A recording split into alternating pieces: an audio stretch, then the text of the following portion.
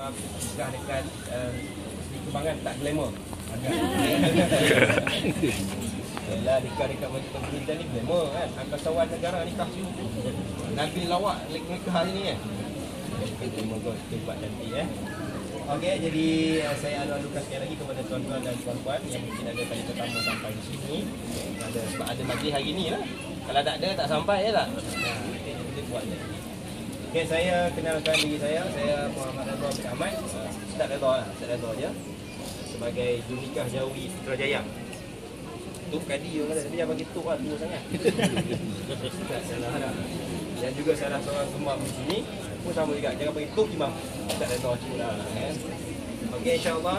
Pastinya nama dah redha akan meredakan majlis hari ini. Confirm dah. Okay, akan menjalankan majlis pernikahan uh, kita tak lama, setengah jam sahaja. Tidak saja dengan syarat sekali lapan kan. Kalau 10 kali lapan lama lah. Uh, InsyaAllah saya akan permudahkan. Okey. Uh, sekitar setengah jam ke 40 minit uh, kepada keadaannya. Okey. Uh, itu ya. ya insyaAllah majlis hijab ni akan disempurnakan sendiri oleh wali kepada Ifah Fahanah iaitu ayahnya Mr. Latif dan uh, saya pandu lah majlis orang boleh cakap Jangan risau ya jangan saya takut nanti kalau tak takut pula aku nikahkan aku juga okay. okay, tak ada masalah yang disaksikan oleh dua orang uh, saksi daripada pihak perempuan iaitu Cik Joha binti Mahir dan juga Cik Ahmad Nawawi semua saksi ini saksi dalam borang je ha? saksi dalam dalam borang dalam sini ada nama inilah ya dua orang okey baik kita teruskan majlis uh, dengan sedikit mendengar khutbah uh, khutbah juga untuk uh, kita terangkan sikit tentang tujuan perkahwinan peranan tanggungjawab suami dan isteri. Yang ringkaslah sekitar 10 minit buang buang kadang-kadang tak sampai okey? Untuk pesanan khususnya kepada bakal pengantin uh, Nampak apa saya tengok pengantin ni yang kedua termuda saya pasangan. Sebelum saya nikah pasangan umur 18 tahun Belajar okay? Yang ni 20 tahun. Ha, Tak apa, tak ada masalah Adik saya nikah saja. Masa tiga anak. Lah lah. Pesan, yang penting tahu Menimbangkan masa belajar dan masa kita kerja Tak ada masalah Tahun ni pula Katanya nak pergi overseas. Selamat Ke mana? Manchester. United. Ha, ni Manchester ni. Okay, salam saya dekat apa? Uni Rundi. Salah salah satu Malaysia kan. Okey, ah okey tak apa. Tambah lagi mudah sebenarnya belajar kalau dari jauh ni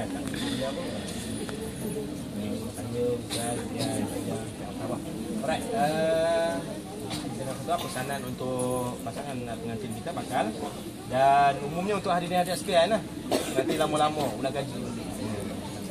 Cuba tanya Ingat tak Tak ingat kan Yang belum kahwin pun boleh dengar okay? Yang nak kahwin lagi pun boleh dengar Kalau ada Kalau ada lah. Semangat Itu biasa lah kan Kita kahwin lagi ni biasa lah Cerita je lebih Tapi dia ada 3 T. 3 T tu teringin tetapi takut? Bukan takut kali ni Takut pun tak boleh berlaku adil Yalah. Normal lah tu kan Kita kahwin-kahwin ni okay. Alright, kita dengar Allah Bismillahirrahmanirrahim. Alhamdulillahirabbil alamin. Wassalatu wassalamu ala asyrafil anbiya'i wal mursalin ba'd fa inna Allah ta'ala ahalla nikah wa nadaba ilaihi wa harrama sifah wa aw'ada alaihi wa qala Rasulullah sallallahu alaihi wasallam an nikahu sunnati faman lam ya'mal bi sunnati falaysa minni Hadirin dan hadirat yang dirahmati Allah.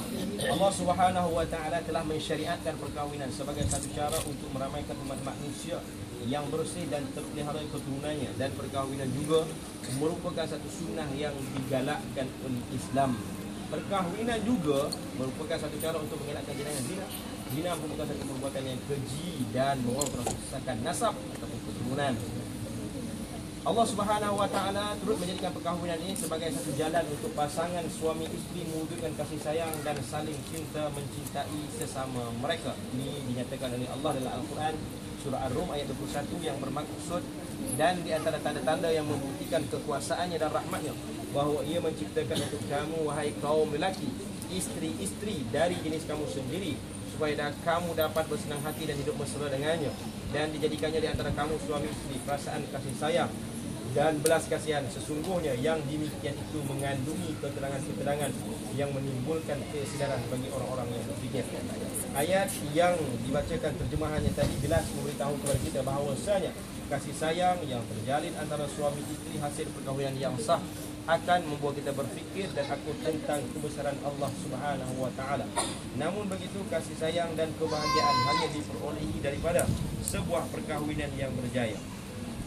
Melalui ikatan perkahwinan setiap pasangan mempunyai tanggungjawab antara satu sama lain sama ada dari segi kebendaan, kejiwaan maupun dari segi kekeluargaan.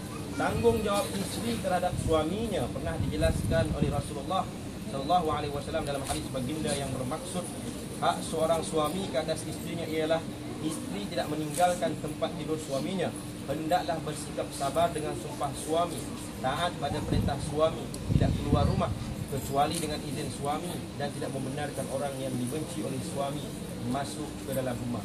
Demikianlah juga tanggungjawab suami terhadap isterinya pernah dijelaskan oleh Rasulullah sallallahu alaihi wasallam dalam hadis baginda yang bermaksud apabila baginda ditanya apakah hak seorang isteri ke atas suaminya lalu baginda menjawab memberi makan bila mana kamu makan memberi pakaian bila mana kamu berpakaian tidak memukul muka tidak menghina dan tidak meninggalkannya melainkan di rumah tempat kediaman. Justru itu suami isteri hendaklah memelihara kerukunan rumah tangga dan menjaga ikatan tali perkahwinan agar ianya berkekalan dengan mengelakkan daripada melakukan perkara-perkara yang boleh merosakkan hubungan suami isteri. Dengan itu, dapatlah direngkaskan tanggungjawab suami adalah seperti berikut. Satu, suami bertanggungjawab menyediakan nafkah seperti makanan, pakaian dan tempat tinggal mengikut kemampuannya. Dua, memberikan didikan agama, mewajibkan dan mengizinkan istrinya memperoleh ilmu-ilmu tersebut dari orang lain sekiranya dia tidak mampu. Demikian juga suami kena perlu juga belajar ilmu agama. Ketiga, memberikan peluang kepada istrinya untuk memperoleh ilmu pengetahuan yang berkaitan dengan keperluan rumah tangga. Empat, menjalinkan hubungan yang baik dengan ibu bapa dan keluarga isteri dengan cara yang sama. Lima, tidak menyakiti istrinya dari segi mental dan fizikal dan enam menjaga maruah diri dan juga maruah suaminya. Manakala tanggungjawab isteri pula ialah satu wajib mentaati suami selagi tidak bertentangan dengan syarah. Dua berusaha mempertingkatkan keterampilan diri dari sudut fizikal dan ilmu pengetahuan. Tiga menghormati kedua ibu bapa mertua dan semua ahli keluarga pihak suami dan sesiapa yang disukai suami. Empat menjaga maruah diri dan juga maruah suami. Lima menjaga dan mendidik anak dengan sempurna dan pandai menyesuaikan dengan masyarakat. Dan enam tidak menyakiti hati suami. Kesemua tanggungjawab yang disebutkan tadi tidak dilaksanakan oleh suami isteri kerana ia adalah amanah yang akan dipersoalkan oleh Allah Subhanahu Wa Taala di akhirat nanti dan akhirnya amirah cukup. Buat. Marilah kita bersama-sama memastikan bahawa diri dan keluarga kita terpelihara daripada seksa neraka kerana Allah Subhanahu Wa Taala mengingatkan kita dalam surat Tahrim ayat 6 yang bermaksud wahai orang-orang yang beriman biarlah diri kamu dan keluarga kamu dari neraka yang mana neraka itu bahan-bahan bakarannya manusia dan bagi berhala neraka itu dijaga dan dikawal oleh malaikat-malaikat yang keras kasar layanannya mereka tidak bertakwa kepada Allah dalam segala yang diperintahkannya kepada mereka dan mereka perlu tetap melakukan segala yang diperintahkan. Aku pun qauli hadza wa astaghfirullah azim wa lakum wa lisa'il muslimin wal muslimat wal mu'minin wal mu'minat fastaghfiruh innahu wal ghafurur rahim. Okey, demikianlah khutbah kita. Maka selesai khutbah, masuklah ke acara yang ditunggu-tunggu acara pembukaan majlis hajat dan Muhammad Afiq Abdul Rahim, are you ready? no. no, saya balik lah. Jadi ni. Okay. Uh, Ifah Farhana binti Abdul Latif wali syariah kami nikahkan dengan Abdul Latif bin Hashim eh, Abdul Latif eh, nikah dengan nikah dengan Muhammad Afiq bin Abdul Rahim adakah izin dan setuju dia apa yang dia jawapannya jawapan penuh macam SPM tu setuju dan setuju ha. dengan siapa saya. Malam tadi Muhammad Afiq juga. Ha, malam tadi Muhammad Afiq bin Ismail. Salah orang. Tengok lepas kat situ lah. Cuba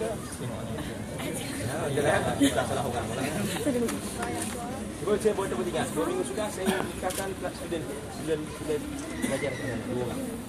Nak balik dah dua bulan. Dia tak ingat ada tempat dia belajar. Okey. Dia dulu. Alright, tak apa. So boleh menghadap. Menghadap dulu boleh pergi. Latihan dulu. Kan dulu. Sebab lepas ni nak record kan? Oh, nak record nak post dekat Facebook. Yang latihan tu jangan direkam dulu. Okey. Okey. Sa- Satu dah lah lepas tu share lah dekat ni. Pelbagai posisi. Okey. Okey, kita training dulu. Okey, bagaimana? Namanya? Tuan uh, panggil dulu dan panggil bakal dan tu panggil. Nama penuh dia. Bila bakal Pak Betul panggil tu sambut lah. Sambut saya lah. Ha, tak, tak sambut orang lain sambut je. Lafaz dia, aku, saya tak guna tulisan sebab saya tak nak kalau baca dia tak sambut. Eh, empat perkara je. Aku nikahkan kau dengan anakku. Ini anak nama penuhnya. Dengan mas kahwinnya. Mas kahwin tiga. Tiga ratus. Tiga ratus. Nah, aku nikahkan kau anakku sama nama penuhnya dengan mas kahwinnya. Tiga ratus ringgit. Nah, cuba.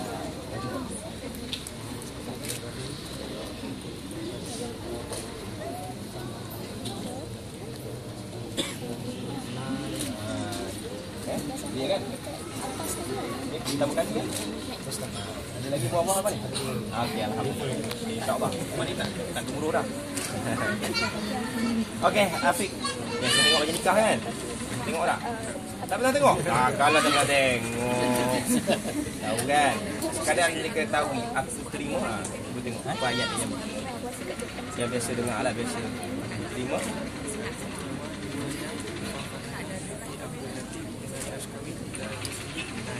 macam dah biasa. Juga kan. Macam je, macam eh. Bukan dah biasa macam. Cuma nak betul saya nak betulkan sikit segi ayat dia.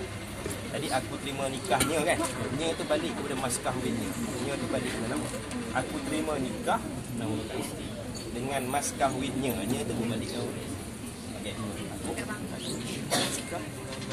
Mana nama nama. Oh. Aku terima nikah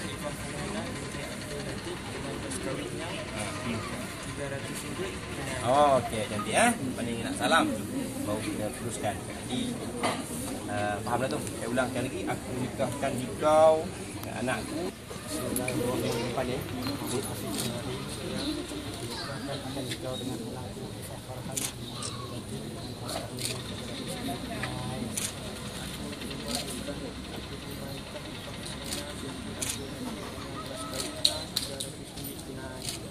Saya ulang tadi tu. Masa latihan ni okey je. Aku terima nikah, aku terima nikah. Sekali lagi ya. Ini nampak cantik nanti. Kamera tak buat. Like, like, like.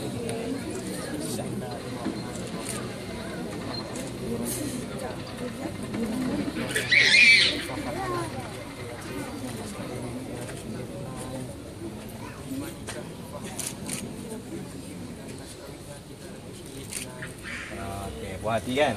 Saya pun buah hati. Itu boleh dah post kat Facebook. tak ada lah orang komplain nanti kan. Ha.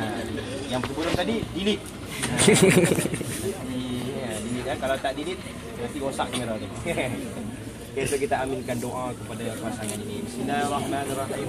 Alhamdulillahirrahmanirrahim. Wassalamualaikum warahmatullahi wabarakatuh.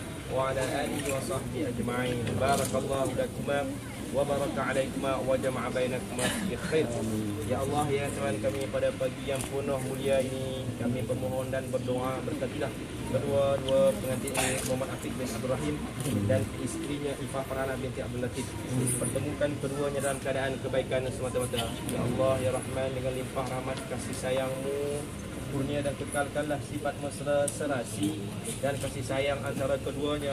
Amin. Tunjukkanlah ya Allah mereka jalan yang takwa, jalan yang benar.